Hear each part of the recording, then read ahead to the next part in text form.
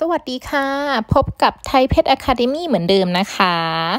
วันนี้เรื่องราวที่เราจะมาพูดถึงนั้นก็คือเรื่องราวของการชักค่ะ เรื่องของการชักนั้น เกิดขึ้นได้ไม่บ่อยเท่าไหร่นะคะ แต่ว่าเกิดขึ้นทีไรนั้น เจ้าของก็จะมีความกังวลตลอดเวลาเลยค่ะ นั้นเรามาดูกันดีกว่าค่ะว่าสุนัขหรือแมวที่ชักนั้นมีสาเหตุเกิดจากอะไร และเราควรต้องทำอย่างไรเมื่อสุนัขชักนะคะ การที่สุนัขชักนั้นเป็นความผิวติจากกระแสไฟฟ้าในสมองของตัวสุนัขหรือแมวนะคะ จะมีการส่งต่อไปยังเซลล์ประสาทรอบข้างเรื่อย ๆ ค่ะ ภาวะชักนี้ สุนัขหรือแมวจะมีอาการกระตุกของกล้ามเนื้อเกิดขึ้น ซึ่งไม่สามารถควบคุมร่างกายของตนเองได้ค่ะ บางกรณีนั้นจะมีลักษณะของการปัสสาวะหรืออุจจาระลาดออกมาโดยที่ไม่รู้ตัวด้วยนะคะ แล้วเรามาดูกันค่ะว่าสาเหตุของการชักในสุนัขหรือแมวนั้นเกิดได้จากอะไรบ้างค่ะ ซึ่งจริงๆ แล้วสาเหตุการชักนั้น เกิดได้จากหลายสาเหตุมากๆ เลยค่ะ และเกิดได้ทั้งในสุนัขหรือแมวที่อายุน้อย หรือบางตัวก็เกิดในสุนัขที่อายุมากขึ้นไปเลยค่ะ ซึ่งการแบ่งสาเหตุของการชักในสุนัขนั้น แบ่งได้หลายกรณีนะคะ ในกรณีนี้เดี๋ยวเราจะมาพูดถึงการแบ่งตามตำแหน่งของการเกิดนะคะ ซึ่งอันแรกก็คือตำแหน่งการเกิดที่เกิดจากตัวของสมองโดยตรงเลยค่ะ และก็ข้อ 2 นะคะก็คือ เป็นการเกิดตำแหน่งอื่น ๆ ที่ไม่ใช่สมอง แต่ว่าไปส่งผลต่อระบบประสาทอีกทีหนึ่งค่ะ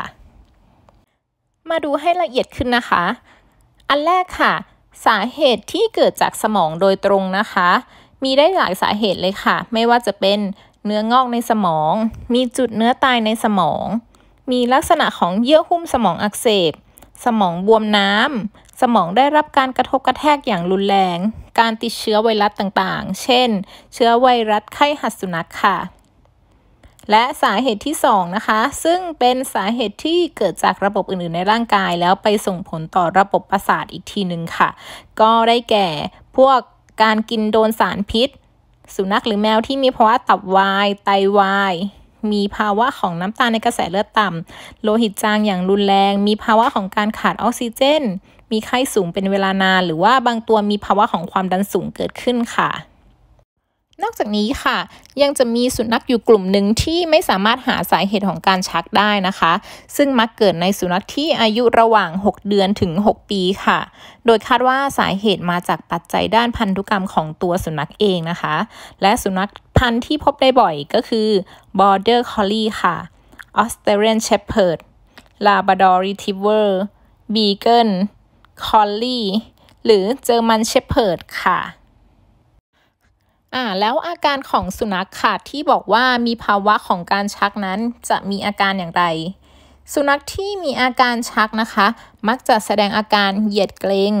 กระตุกกล้ามเนื้อ ซึ่งจะจากกระตุกบางส่วน หรือว่ากระตุกทั้งตัวเลยก็ได้ค่ะ มีภาวะของน้ำลายยืดไหล เคี้ยวปาก แงนคอ ไม่รู้สึกตัว มีปัสสาวะลาดหรืออุจจาระลาดค่ะซึ่งอาการชักนั้นสามารถเกิดได้เฉพาะช่วงสั้น เพียงแค่ไม่กี่วินาที หรือบางตัวนานเป็นครึ่งชั่วโมงเลยก็ได้ค่ะ ขึ้นอยู่กับระดับความรุนแรงของโรคนั่นเองค่ะและอาการที่กล่าวไปดังกล่าวเบื้องต้นนั้น ไม่จำเป็นว่าจะต้องมีทุกอาการในตัวตัวเดียวนะคะ และบางตัวนั้นจะมีอาการก่อนชัก ซึ่งจะแจ้งเตือนให้เจ้าของได้ทราบด้วยค่ะ เช่น สุนัขบางตัวจะมีอาการร้องกรีด เดินวน มีอาการมาเดินคลอเคลียตัวเจ้าของตลอดเวลา นั่งมองหน้า เพื่อจะให้เจ้าของนั้นสนใจค่ะ ส่วนอาการหลังจากที่สุนัขชักแล้ว สุนัขนั้นนักจะมีอาการหลังชักที่ไม่เหมือนกันในแต่ละตัวนะคะ สุนัขมีแนวโน้มที่จะมีอาการงงเบลอกระวนกระวาย ซึมหรือตื่นเต้น แต่ถ้าหากมีอาการชักยาวนานและรุนแรงนั้น ก็อาจจะมีผลทำให้สุนัขมีภาวะของสมองบวมน้ำเกิดขึ้นค่ะ สุนัขมีโอกาสที่จะเกิดอัมพาตตาบอด หรือว่าพฤติกรรมเปลี่ยนแปลงไปเลยค่ะ เช่น จากสุนัขที่ไม่เคยดุเลย ก็จะเปลี่ยนเป็นสุนัขที่มีความดุหรือเกลี้ยกล่อมไปเลยนั่นเองค่ะ และลำดับถัดมานะคะ เป็นสิ่งสำคัญเลยค่ะ ที่ควรจะพูดถึงก็คือ สิ่งที่เจ้าของจะทำเมื่อพบว่าสุนัขหรือแมวกำลังชักอยู่นะคะ เบื้องต้นเลยค่ะ เมื่อพบว่าสุนัขหรือแมวที่กำลังชักอยู่นั้น ให้เรารีบเอาสิ่งของที่อยู่รอบๆ ตัวสุนัขหรือแมวออกนะคะ เพื่อไม่ให้เกิดความอันตรายแก่พวกเขาได้ เช่น เอาแจกันเอาเก้าอี้ที่วางเกะกะออก เอาหนังสือที่พร้อมจะตกลงมาใส่เขาออกไปค่ะ ถึงอีกอย่างที่ควรทำนะคะก็คือ เจ้าของไม่ควรเอาอะไรเข้าปากสุนัขเลยค่ะ ไม่ว่าจะเป็นมือเป็นช้อนนะคะ เพราะว่าในขณะนั้นสุนัขหรือแมวนั้นจะไม่รู้สึกตัวเลยค่ะ ถ้าหากเอามือหรือว่าสิ่งของเข้าไปอาจจะยิ่งทำให้เกิดอันตรายมากขึ้นนะคะ ต่อมานะคะ ถ้าหากสุนัขมีอาการชักค่อนข้างยาวนาน 2-3 นาทีขึ้นไปนะคะ สุนัขโดยส่วนใหญ่จะเกิดความร้อนขึ้นในร่างกายนะคะ ดังนั้นเจ้าของค่ะควรจะทำให้ที่ที่เขาอยู่นั้น มีที่ระบายอากาศและทำให้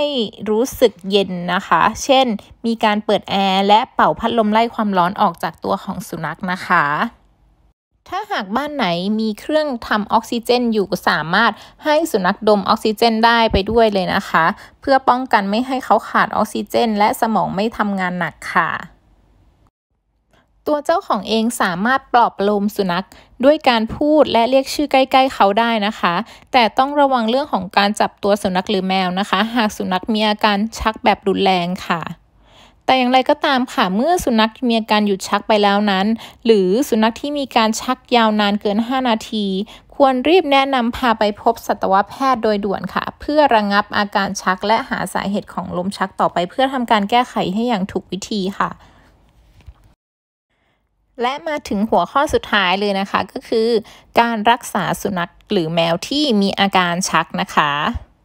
การรักษาเรื่องชักนะคะ มีการรักษาทั้งแนวทางเรื่องของการรักษาทางยาและเรื่องของการผ่าตัดค่ะ เบื้องต้นเลยค่ะ สุนัขหรือแมวที่มีอาการชักนะคะ ควรได้รับการวินิจฉัยโดยสัตวแพทย์ก่อนค่ะว่า สาเหตุนั้นเกิดจากอะไรเพื่อที่เราจะได้ไปรักษาให้ถูกต้องตรงตามต้นเหตุนะคะ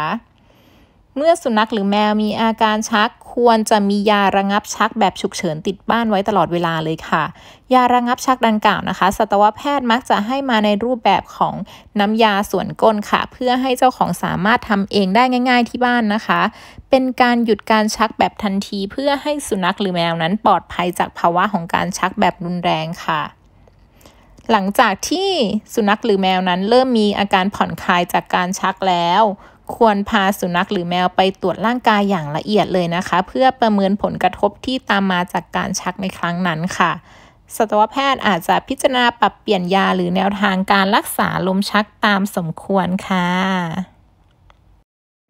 จบแล้วนะคะ ขอบคุณทุกๆคนที่ตั้งใจฟังกันนะคะ อย่างไรก็ตามถ้ามีอะไรที่เป็นข้อสงสัย สามารถส่งเข้ามาให้ทางทีมงานเราตอบได้นะคะ ขอบคุณมาก ๆ ค่ะ Thank you.